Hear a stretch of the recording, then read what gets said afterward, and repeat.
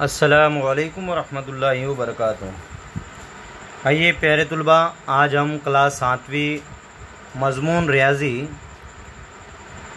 का सबक नंबर बारह एहता और रकबा, इस सबक का मशक़ी सवालात नंबर पैंतालीस का सवाल नंबर पहला हम इस वीडियो में समझने वाले हैं। ताकि हम सबसे पहले सवाल समझ लेते हैं। सवाल नंबर एक इस तरह है कि एक मुरबे का ज़िला बारह सम है तो उस मुरबे का रकबा मालूम कीजिए। प्यारे तलबा, सब कुछ समझाने से पहले मैं आपको एक चीज़ बता दूँ कि मुरबे का रकबा क्या है। मुरबे का रकबा बराबर ज़िले की दूसरी कुवत। ये जबता है हमारा। तो इस जबते का इस्तेमाल करेंगे हम। आइए हम सबसे पहले दियावा लिख लेते हैं।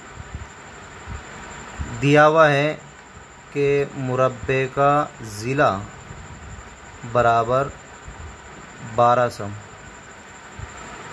अब हम जबते का इस्तेमाल करेंगे, हम जबता लिखेंगे कि मुरबे का रकबा बराबर ज़िले की दूसरी कुवत।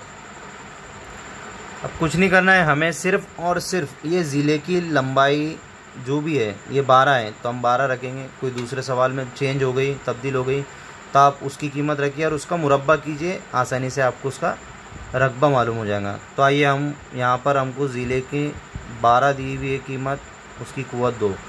लिखने का तरीका कुछ इस तरह है कि बारह ज़रब बारह। आपको अगर डायरेक्ट मुरबा याद है, बारह का मुरबा एक सौ चौवालीस होता है। नहीं याद है तो आप उनकी ज़रब करके लिख लीजिए। तो बारह का मुरबा एक सौ छियालीस। एक सौ चौवालीस। हम ये हमें सम में दिया हुआ है, हम इसकी इकाई लिख लेंगे मुरबा सम। तो ये बहुत आसान सवाल था। यहाँ पर हमने मुरबे का रकबा बहुत आसान तरीके से हल कर लीजिए। तो इसी तरीके से आप जो हैं, इन वीडियो का इस्तेमाल करके मज़ीद दूसरे सवालात की मश्क करें। जजाकल्ला खैर, अल्लाह हाफि